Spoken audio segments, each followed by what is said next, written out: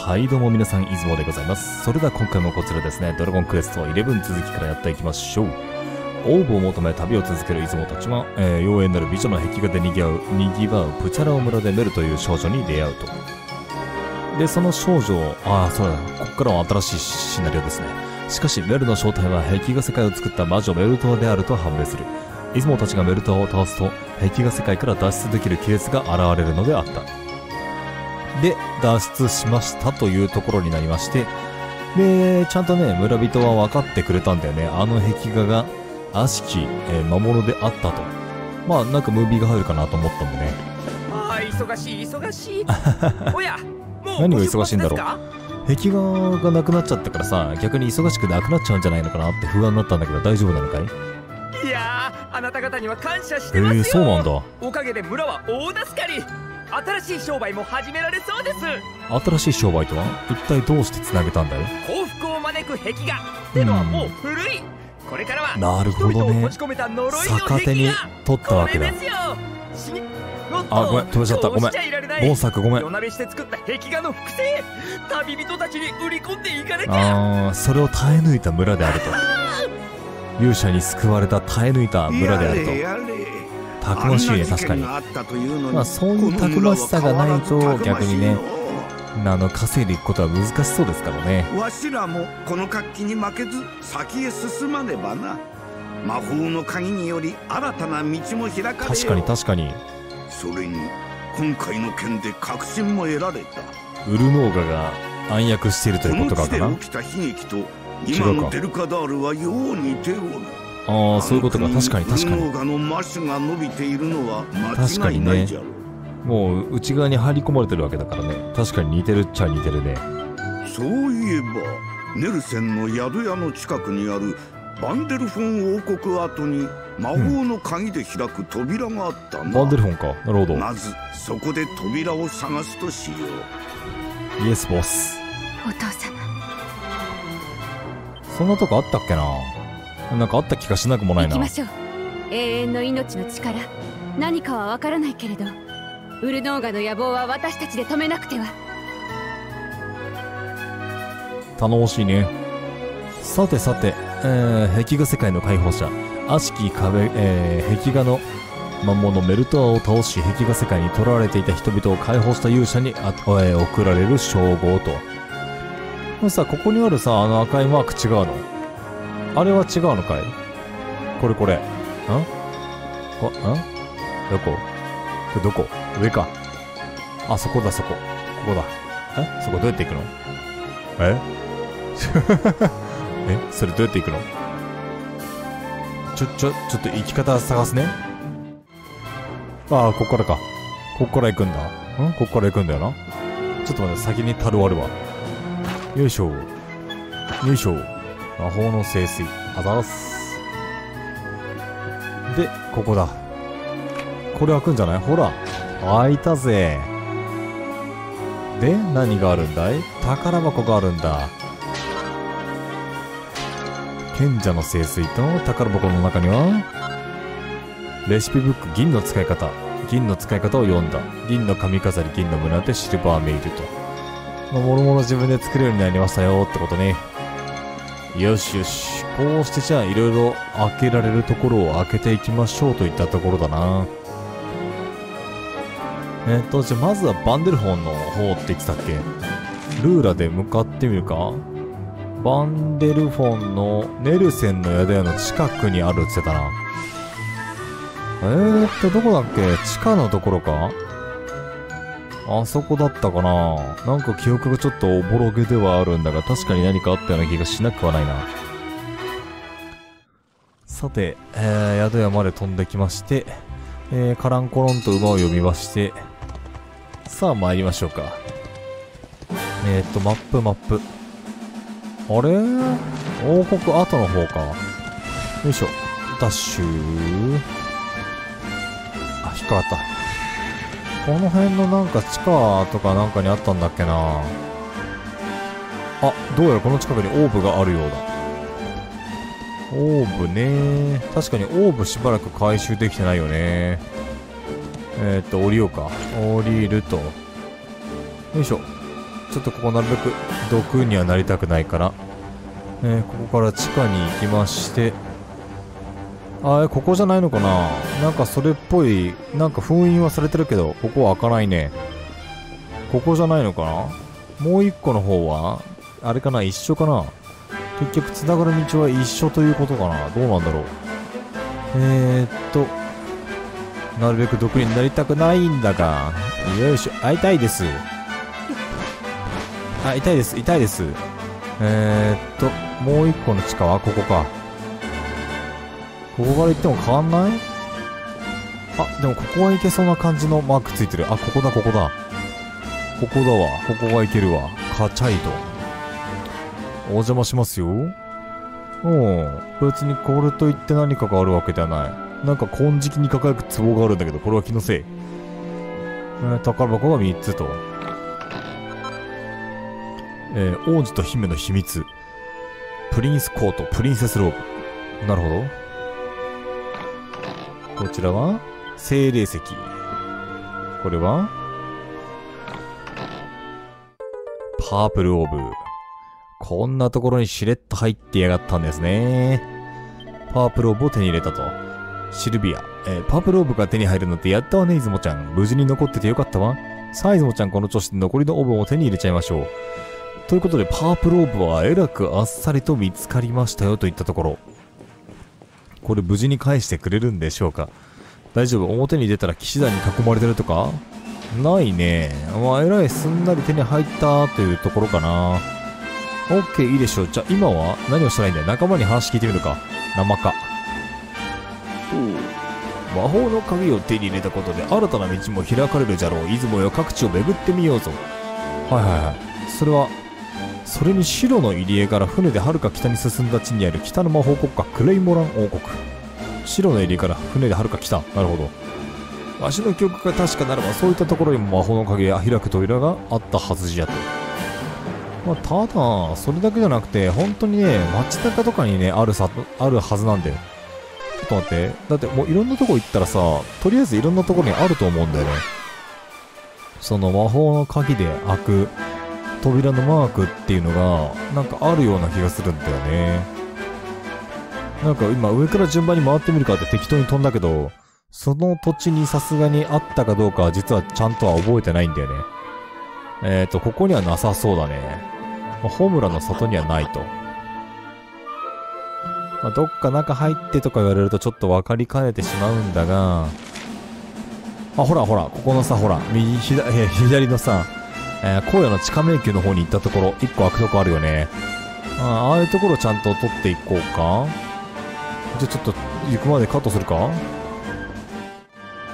うん、というわけで、こことかね。あ、敵が逃げていくね。私が強すぎるせいだね。はい、宝箱が1個入ってますと。ガチャリ。大麻の太刀。大麻の太刀か。太刀は強そうだけど、今使ってないよな、多分な。えーっと、これでしょ？体験なんだよ、多分両手剣になっちゃうから、もちろん、えーっと、攻撃力とかは上がると思うんだけど、ちょっと今ね、できれば片手剣では主体として使っていきたいところであるんだよね。サマディの方行ってみようか、またじゃあ。まあ完全に今物語を進めようと思ったら、白のエリアから北の方、えー魔法大国みたいなことを言ってたよね、さっき。ローが言ってたその魔法大国に行けば次のストーリーが始まると思うんですけど、まあちょっとせっかく鍵も手に入れたことなんで、なんかこう、鍵である程度回収できるものは回収しようかなというところですね。ここにもあるね、やっぱり。よいしょ。シルビアさん一発勝負決めていかなくて大丈夫？よいしょ。ガチャリと。ここには何が眠ってるんだい？よいしょ。1個、2個、3個、4個あって、あ、小さなメダルじゃん。ありがてえ。小さなメダルはね、積極的に集めていきたいからね。えースキルの種を見つけたと。ありがとうございます。こういうのなんかさ、3つ並んでると真ん中さ、最後に開けたくなるの私だけかな。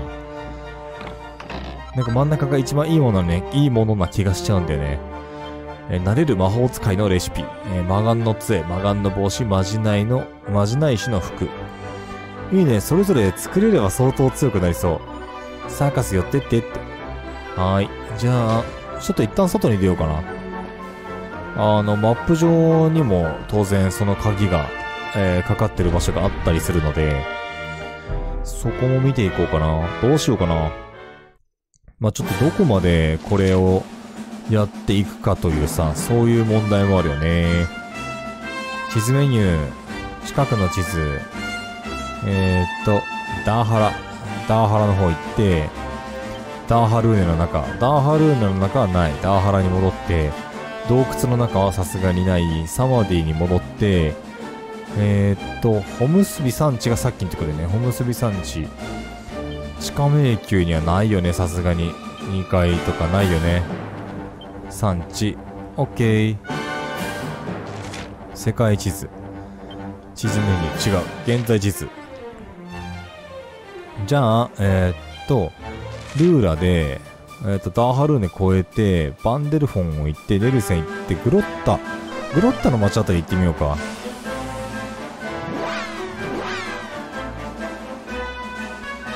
その近くの地図で地図の中をあれだね旅していけばどこに行けばいいかという目標が一つ立つからこう考えやすい部分ではあるね。なんかグロッタの街とかありそうな気がするんだよね私。ないか。階層切り替え。あクエストあんじゃん。ちょっと待ってクエストあんじゃん。えーと近くの地図。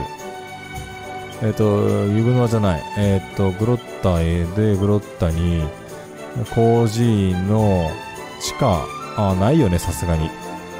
えー、っと、仮想1。あ、ちょっと待って。ちょっとせっかくだからサブストーリー見つけちゃったんで、サブストーリーをやっていこう。えー、コンパートはあれですね。えーサブストーリーの消化及び、えー魔法の鍵で開けられるようになった場所の探索といったところでしょうか。さてさて、ここを続いて上に登りまして、あ、君か、少年。デルギンスって闘士知ってる気配を消して相手に近づく戦闘の達人でその戦いぶりから幻の闘士と呼ばれているんだ。あーたん？あー幻の闘士のサイン欲しいな。僕闘士たちのサインを集めてるからさ。デルギンスのサインも欲しくなっちゃったよ。デルギンスを探してサインをもらうの手伝ってくんない？いいでしょう。今回の仮面武道会にも参加してたらしいからまだこの街にいるはずだよ。どんな人なのかな。戦闘の達人だしきっとムキムキのマッチョですごく強さの見た目に違いないよね。街中隅々探してデルギンスからのサインもらってきてね。よろしくお願いします。えー、こういうのはね、逆だと見た。よーし、頑張って探すぞ。一体どこにいるんだろうな。なんか暗くてジメジメしているところにいる細っこいやつみたいな。そういう条件揃ったやついない？ガチャリ。さすがに家の中って感じではないよな。多分だけど。さて、なんか、ここのバーとかは？バーってか道具屋か、ここは？道具屋入りまして。はいはいはい。あ、なんか、ん？ん？なんか、あ、ん？幻覚か？この辺に人が立ってたように見えたんだかな。幻覚かもしれない。貴様か？ムキムキのマッチョではあるが、違いそうだね。えー壊せる箱は壊したくなると。ここは開かない。ここ防具屋？一応建物の中を見とく？デルギンス。デルギンス探し。ちょっと、ちょっとさすがにあれだな。デルギンス探す。デルギンス探しはカットして、デルギンス探してくんね。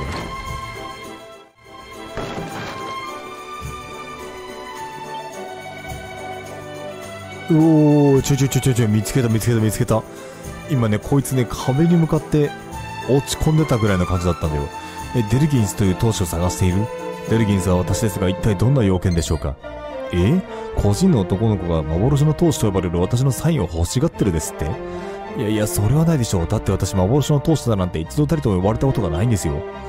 なんせ仮面舞踏会では影が薄いせいで誰からも気づかれずパートナーと組めなくて予選落ちどころか抽選会落ちです。隣に立って声をかけても相手の投手は気づかないぐらいで、とほほ。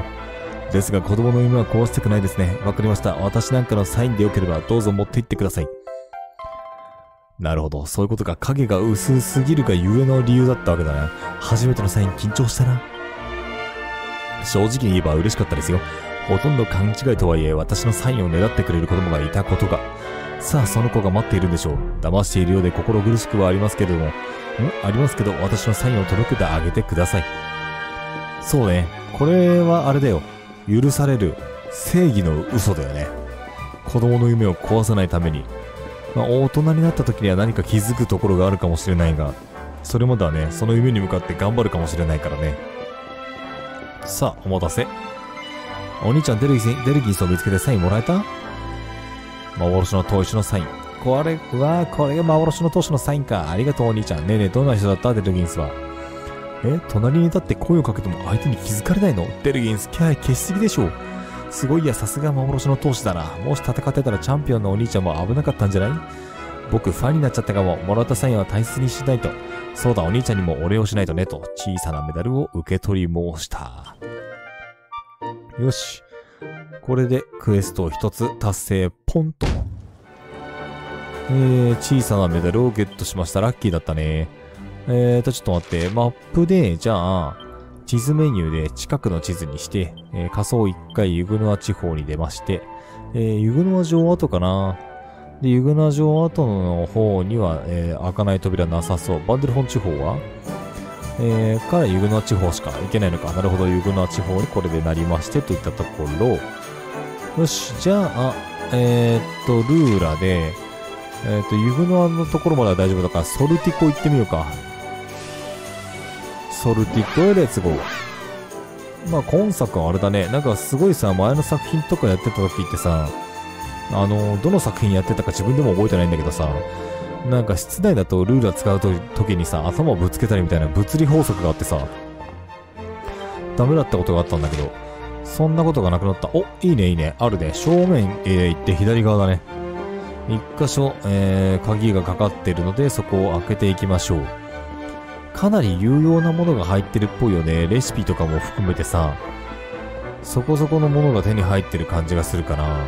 これはなるべく可能であれば今開けられるところは全て開けていきたいといったところでしょうか。えー、っと、宝箱が一つ。えー、キラーピアス。おキラーピアスとは何だろう。ああ、これ開けられるやつじゃなかったのか。おー本当にそれしか入ってないんだ。えー、ピアスということは、この辺の、えー、っと、アイテムだと思うんだけど、キラーピアス？あれ？なくない？キラーピアス。え、キラーピアスだったよね？キラースピアじゃないよね？頭かな？お？お？いや、ちょっともいいや。また後で考えよう。えー、っと、それで、えー、ここの街ではここだけかな。えー、ここだけは開けましたので、えー、近くの地図。えー、カジノはいいいいか。海岸。えー、ま、ナプガーナ密林。デルカダールの丘。デルカダールの方はでももう今行けないよね、多分。デルカダールは多分入れないんじゃないかな、さすがに。えー、地方。石の村とかはさすがにないもんね。神の岩ふもと。神の岩の中。なんか懐かしいね。そんなところ行ってたね。えーっと、デルカコスタ地方は？神殿の中は？さすがに神殿の中は大丈夫か。で、えー、ってことはルーラでまた、えー、ナギムナとか行ってみる？ナギムナ村。あ、でもあんまりいろんなとこ行ってもちょっとしょうがないから、ちょっとメダ、メダジョだけ行っていい？メダジョで一旦集まった、えっ、と、小さなメダルを、えっ、と、お渡しするとともに、メダジョにもし赤い扉があれば、開けてっていうところなんだけど、それだけしたらあれかな、新しい土地を目指してもいいんだけど、えー、っと、ちょっとまあどっちみちちょっとあれだな。あのー、小さなメダルは学長に預けたいので、ファサファサファサ。あ、出た。小さなメダルを拾う動作ね。優雅に拾う動作ね。よいしょ、お邪魔します。まあ、特別にね、女学園なのに特別にね、私入ってますんで、ここの生徒として。はい、持ってきましたよ。4枚か。まあ、多少ね、1、2、3、4と、あと1個で仙台王のなんちゃらってやつが手に入るな。惜しいな。仙台王の衣装。もう1回ぐらい出ないここ。出ないかー。そりゃそうだよな。同じところから2個出るような優しい仕様じゃねえよな。えっ、と、この中はちなみに開くところないかな。えっ、ー、と、2階は ?1 階、工程。ないね。そしたら、一旦ですね、白の入り江に行きまして、白の入り江から北の方に行くって書いてあったよね。書いてあったってか、ローが言ってたよね。その新たな土地だけ、どんなところか見たりしようかな。よし。じゃあ、白のエリアに着きまして、静かだね、相変わらずここは。おー、行こうか、リスちゃん。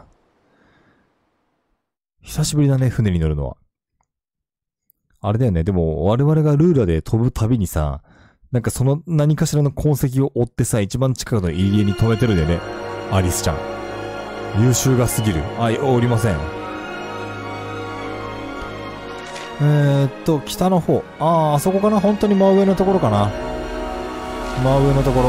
まあ、北の方に一応、何か雪国のようなところかな。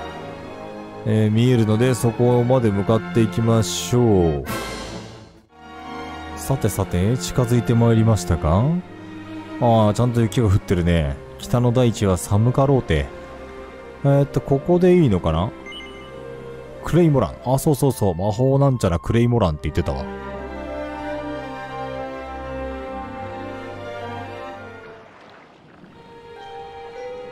さて、ここが、えー、魔法大国クレイモラン。なんだか静かだな。あ、どうやらここの近くにオーブがあることは認知していると。おや、はるばる海を越えてクレイモラン王国にやってきたのかい？残念だけど無駄足だったね。え、どういう意味かって何言ってみればすぐわかるよ。そなたは震え凍えている踊り子。私、世界中にある踊りをマスターするため旅をしてるんだけど寒くて無理だわ。これじゃ踊りを覚える前に凍っちゃうわよ。さぞ有名な、有名なとか優秀な踊り子なんだろうな。世界中の踊りを覚えるために。さあ、着いたぞ。なぜか、なんか開かないような感じだったけどね。雪の都、クレイモラン王国。この国には、ブルーオーブがあったはずじゃ。あったはず。以前訪れてるのか。寒い寒い。炎使えよ。雪の都とかどうでもいいから、早く中に入りましょう。あなたは火を焚けばいいじゃない。そういう問題でもないのか。か変ねいくら雪の都と言ってもここまで凍ってるのはおかしいのではないかという